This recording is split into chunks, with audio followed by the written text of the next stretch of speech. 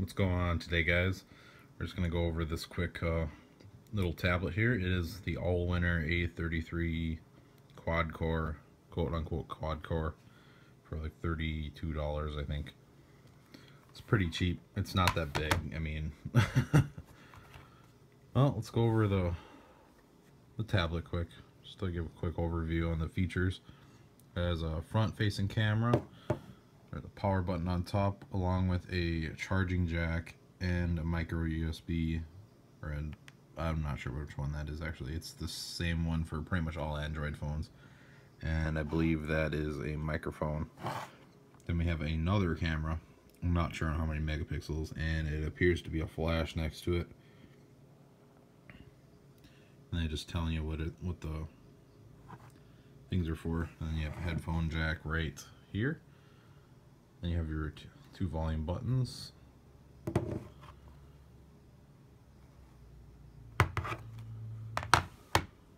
Also have a slot for an SD card, expandable memory, and we also have the speaker here.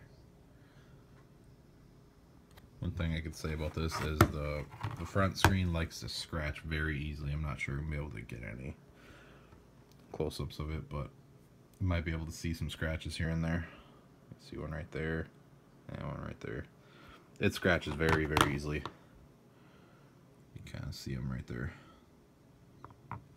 And the screen is not perfectly flat. As you can see in the corners, it's kind of raised up a little bit. Alright, let's get it booted up. There we go. We have Allwinner A33 quad core.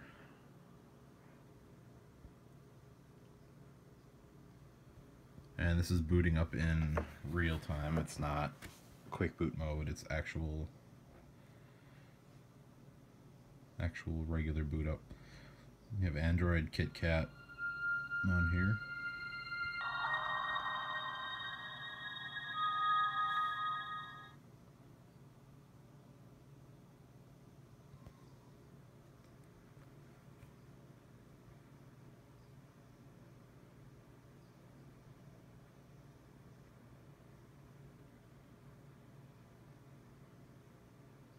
like it takes about a little over a minute to boot up.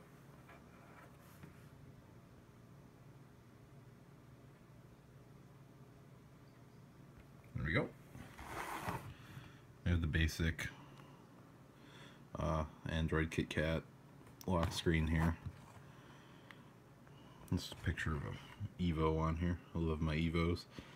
Um, now you can go have options to go to the camera, so we can try out the camera quick have to remember this is only $30 so you can't expect much from $30 and I'm not sure how well this is going to work. Because I'm trying to record this on my iPhone 6s and let's see if we can get any any pictures or something. Um uh, picture of my car parts why not? Honestly the camera really sucks I think they list it as a 5 megapixel and it's not even close to that. But it does work, so you can't really complain about that. I'm not sure if the flash works, so let's see if we can get the flash to work here. It does work. Okay. see if we can get a picture of it or a shot of it actually going off here without breaking the damn thing. Yep, it does work.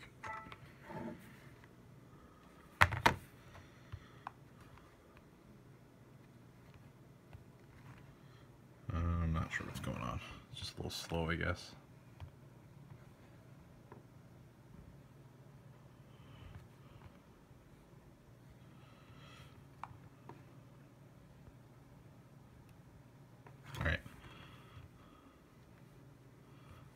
For a $30 tablet, you can't expect much, but I mean, it works.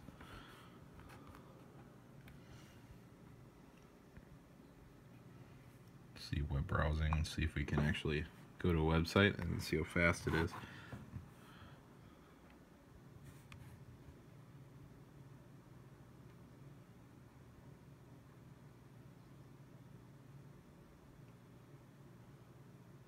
So it's not terrible, but it's not good either.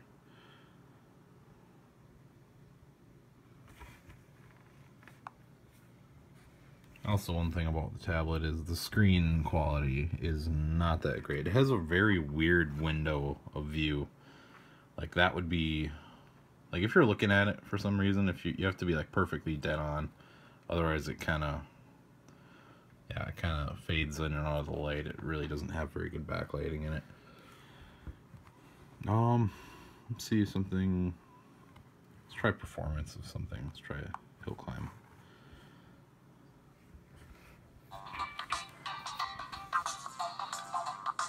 I'm just gonna try to play with one hand here, but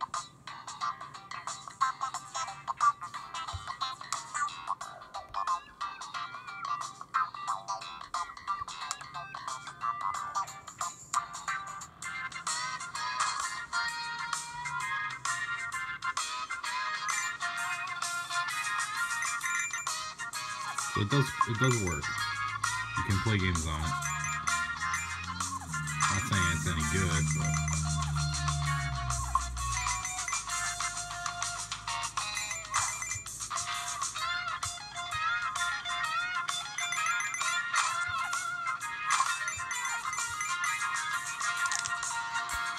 Yeah, you get the idea.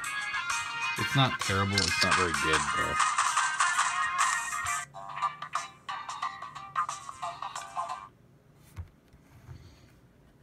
Unfortunately, I can't really do a benchmark on it because it doesn't really have enough memory to download a benchmark app for some reason. Um, let's see how the storage is. I'm not sure exactly how much storage it has. Total space one gigabyte it was advertised as eight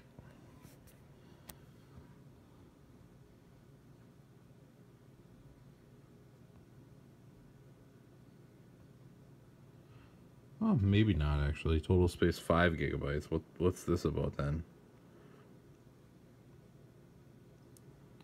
Five gigs of space, and there's no SD card in it right now. So I figure it is 8 because then you have enough room to leave Android on there. Alright, let's see if we could get any shots of uh, video quality of this. Uh, let's not do that right now.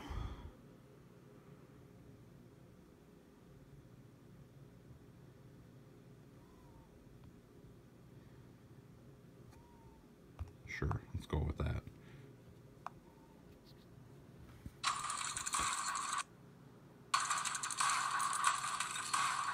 Honestly, it's not bad for $30. If you want to just like watch videos on it, it'd be pretty much perfectly fine.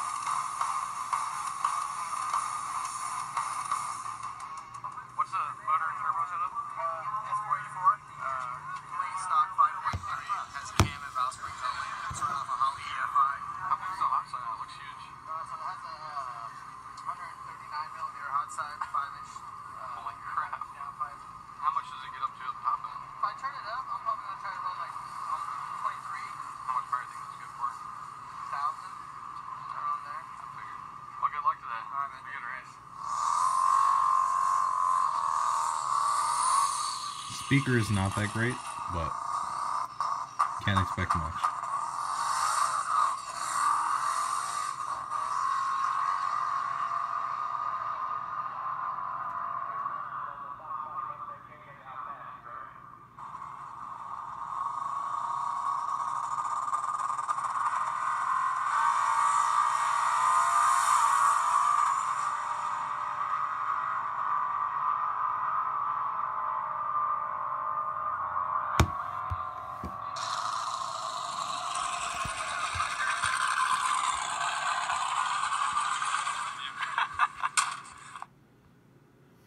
But yeah, if you want something that's just like pretty basic and cheap, I do recommend this. I mean, it does have Bluetooth. I'm not sure if it actually does anything, but but it does list that it has Bluetooth. I'm not sure where though. Also has screen recording and whatever else is on Android. Yeah, if you just want something cheap, I recommend it. I mean, it's only $30. It's not that great quality, but it does work. So that's all that counts. I'll see you guys later.